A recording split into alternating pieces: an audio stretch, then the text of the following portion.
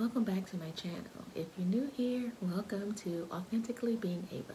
I did a video first on cleaning these boots and they looked a hot mess. If you want to see that video, check in the description below. So I'm coming back for a second video with these boots.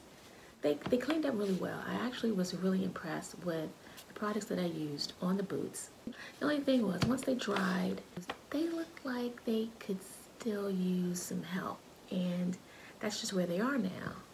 Um, so I decided I'm going to dye them. I'm going to dye them black so they are a deeper and more enriched shade of black like they were when I purchased them.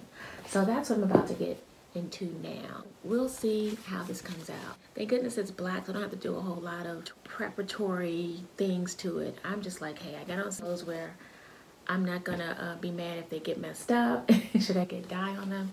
And the shoes are black on black, you know, so I'm just going to be careful to go around the emblem.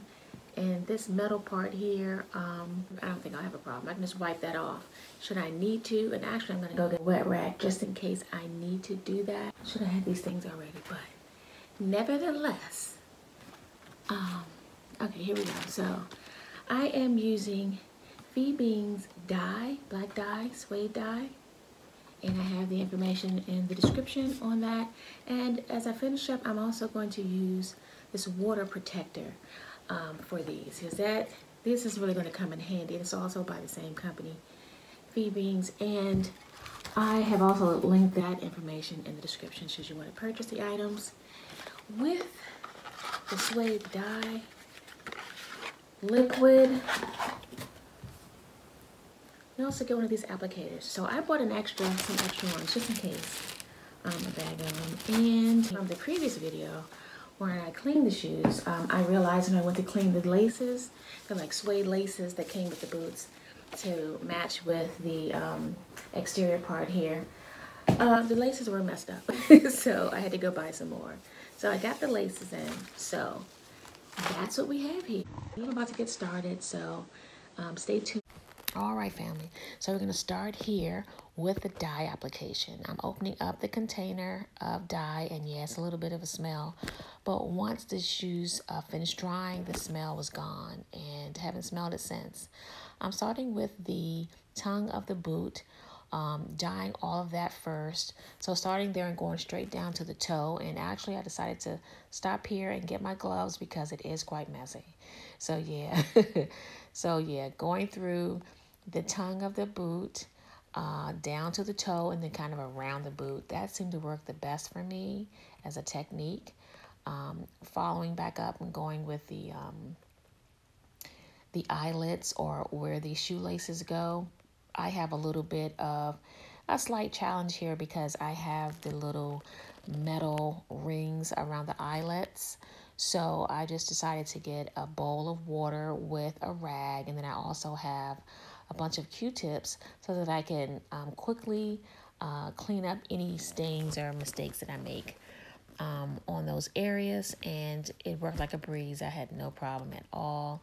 And uh, from there, I just decided to use um, even strokes, you know, not strokes, but even coats. I didn't want to do or, or put a whole bunch of dye on this one application. I've decided from the beginning to do two applications.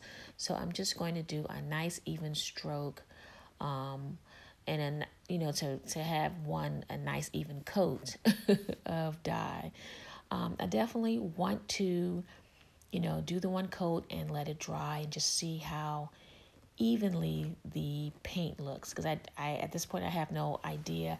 It's so hard to tell with the color um, of the dye being so dark and being it black.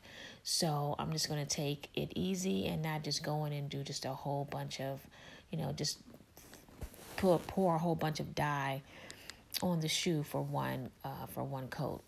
So anyway so, family, just uh, take a look, and um, I will get back with you in a moment and see as I go through the the second boot with the dye.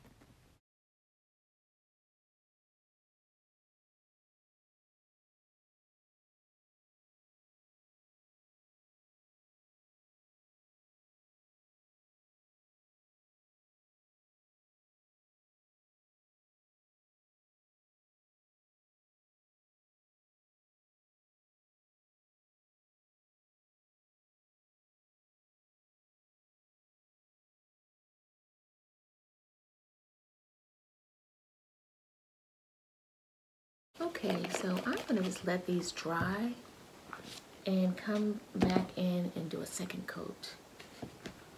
So I just actually want to see how they actually look, how dark they really are, because it's so hard to tell when the shoe is wet, you know, with from water or from colored dye. So I'm gonna let these sit for a bit and I will be back to do another coat. All right.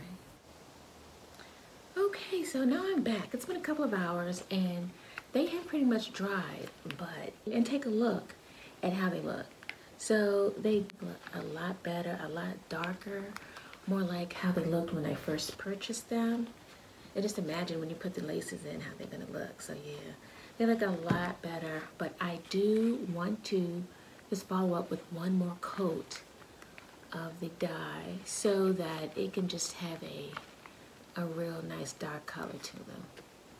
So I'm gonna get started on that process again and I'll see you in a bit.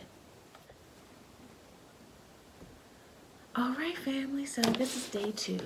Just ended up letting them dry overnight, and so here I am. So unfortunately, it's not a bright and sunny day like it was on yesterday. So I tried to add some more light, but I guess you guys can see me good enough, and the boots good enough. So let me just go ahead and finish up and wrap up. But this is the finished product. They came out really, really good.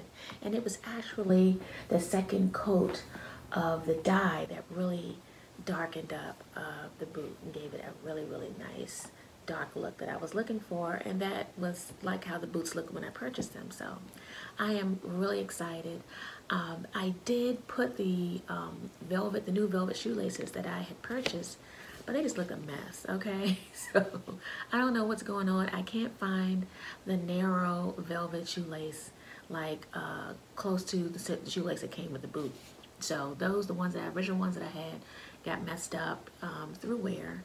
So, and like I said, these second ones I purchased, they're so wide.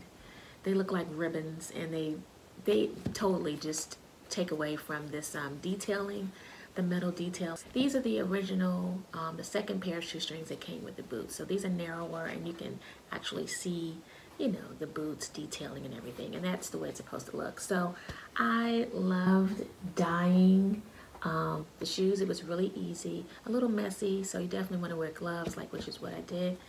And um, and yeah, I say do it. If you're thinking about doing it and you can probably get a, another season of wear out of your shoes, why not? Your shoes or boots or whatever, why not? You know, and then follow up with a protectant um, sealant and this water protector I'm going to use, I'm going to have to take these outside and do, like today for instance, the, all the rain we're getting, these would be great, you know, they would be protected is what I'm saying.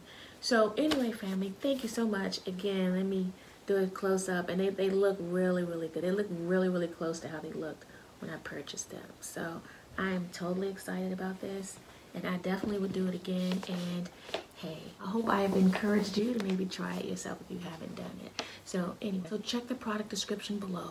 I have all the information that I used on cleaning shoes, um, the type of dye I use, all of that is down below and as well as the, the water protector. So if you enjoyed the content, please hit the like button. I look forward to seeing you on the next video. Take care family. Love you.